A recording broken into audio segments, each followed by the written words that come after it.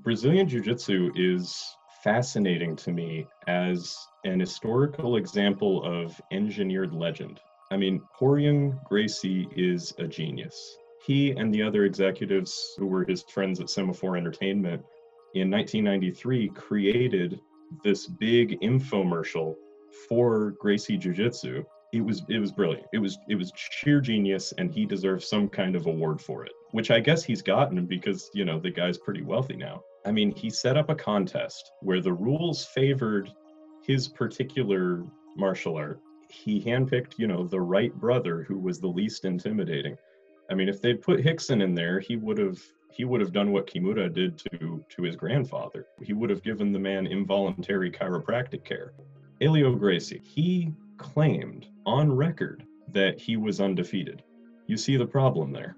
So Masahiko Kimura, arguably the greatest judoka who ever lived, they call him the god of judo basically turned that man into a pretzel. He gave him a spiral fracture in his arm and ripped it out of the socket essentially. Helio Gracie was basically handled like a like a bear attacking a salmon. And yet he claimed to have never lost. And when they further interrogated this, he said, Well, I never gave up, therefore I never lost. Suddenly, this changes the entire rhetoric of the story, right? but also that they invited very select martial artists to participate, all but one of whom didn't have the background to defend against a grappler like that. You notice there were no there were no Olympic level judo people in the early UFCs. Isn't that a little curious, right? How would things have been different if there were a, if there were a gold medalist judo player in the first UFC. Yeah, that's not the same outcome. The fact that Ken Shamrock had the right training was sheer happenstance of history, only because the Gracies, they weren't clued into just how much grappling he'd been doing. So that's interesting.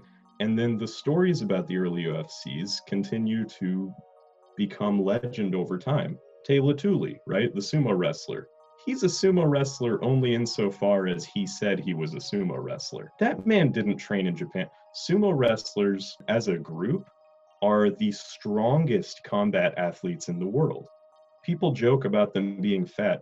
Most of that's not fat, people. Meet a real sumo wrestler in real life, and they are disturbingly powerful. I mean, it, they're carrying so much muscle that people sometimes ask why they don't move into American football if they're so strong.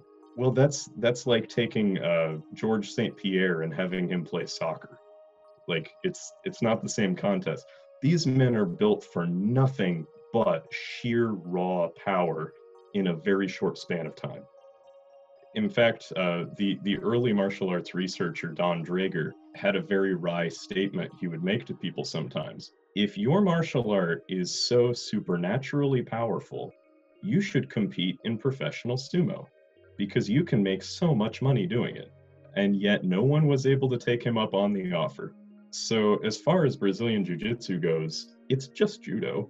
I mean, it's a different rule set now, and so they've they've been able to modify techniques because any given sport is really just an exercise of the human mind to adapt to a very narrow rule set it's not about who's the best fighter in any contest. It's about who's the best fighter in this very particular category. And so Brazilian Jiu Jitsu was brilliantly used as a commercial. I mean, the, the UFC was used as a commercial for Brazilian Jiu Jitsu in that way. And then to put the Gracie branding name on it was the cherry on top. It's just such a good idea. Imagine if Mas Oyama had somehow gotten everyone in the world to think that the only karate is Mas Oyama karate. And so everybody had to stick with that brand. Such a good move. I also heard recently that there is a very well researched documentary about the history of Brazilian Jiu Jitsu coming out, I believe it's next year. This one is not associated with the Gracie family. And so it's going to go into the, the more murky depths of the real history. You know, the Gracies the story is that the mysterious judo or jiu-jitsu master who they didn't even want to name for a long time comes to Brazil and because the the Gracie patriarch helped him to get established that he taught his sons jujitsu which is a great, clean, wonderful little origin story, very little of which is true. In fact, the Gracies were circus people, professional promoters, among other things. Having access to this Japanese judo teacher, Maeda is an interesting character in, in his own right. People call him, uh, what, what, what's that Brazilian nickname they gave him as a wrestler? Conde Coma, Count Combat in Portuguese, I think. So he was a pro wrestler and he had that nickname. But in his own in his own diary and correspondence, he referred to himself as like Komateru Maeda, I think was the term, troubled Maeda, because his entire thing was that he came to the U.S. to teach judo, specifically to politicians. And in the in the adventure that was his young life, he ends up in Brazil without enough money just to get back to Japan. And even if he did get back to Japan, he would have had problems because there were rules instated at the Kodokan that you can't make money from professional wrestling if you are a judo exponent. So Kano had a problem with professional wrestling because he was trying to distance his invention of judo from what he perceived to be very lowbrow, low class, like showy, violent martial entertainment. And so he said, okay, I'm going to, you know, judo, we're going to have a rule at my school that you cannot be involved in that stuff. Because at that point in history, Japanese jujitsu was dying. Like nobody wanted to learn it. And so one of the few ways to make money off of it, and this is true of, of the weapons-based martial arts too, was to put on public demonstrations, essentially early early combat sports.